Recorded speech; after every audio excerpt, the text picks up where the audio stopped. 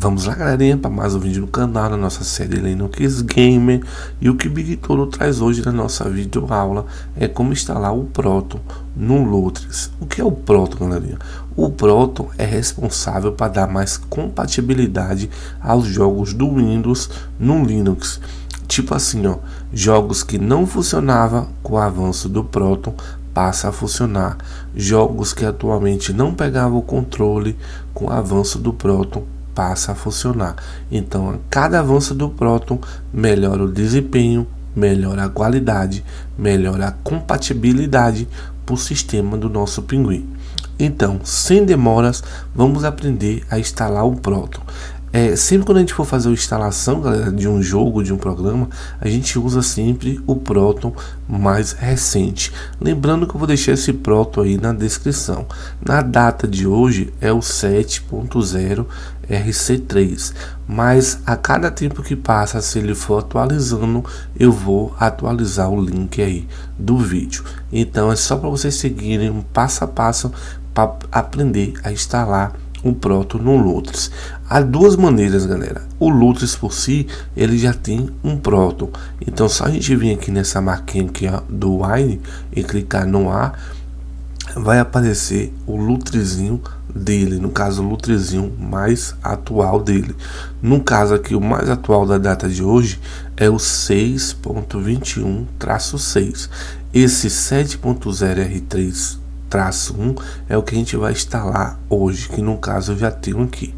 Então, se vocês quiserem instalar algum lutrezinho desse aqui para fazer um teste em alguns jogos que você está precisando ou só por curiosidade mesmo, é só clicar na janelinha e automaticamente ele vai fazer a instalação.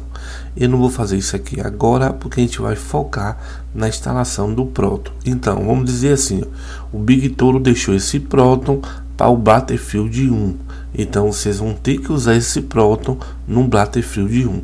E como é que a gente faz isso, Big Toro? Muito fácil. O arquivo vai estar assim compactado. Eu vou fechar o lutrezinho aqui.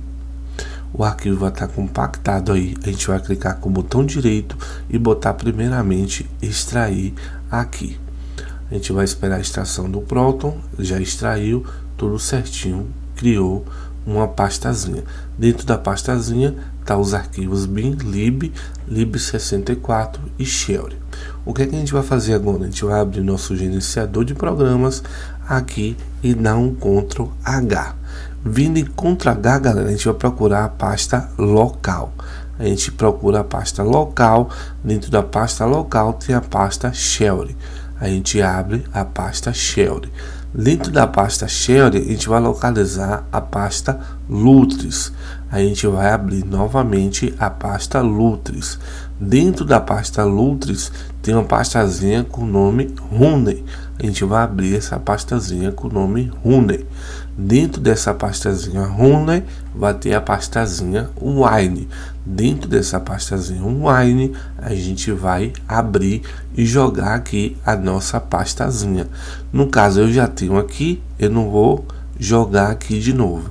Então ela vai estar tá aqui, ó, 7.0 RC3 64. Feito isso, o que, que a gente vai fazer, Big Toro?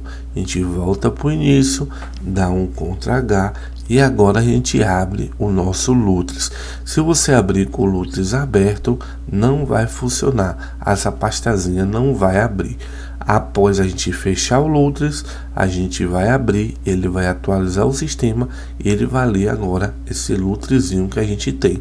Então, feito isso, acompanhando as videoaulas, o que, é que a gente faz para alterar Big Toro para aparecer agora esse Lutris 7.0?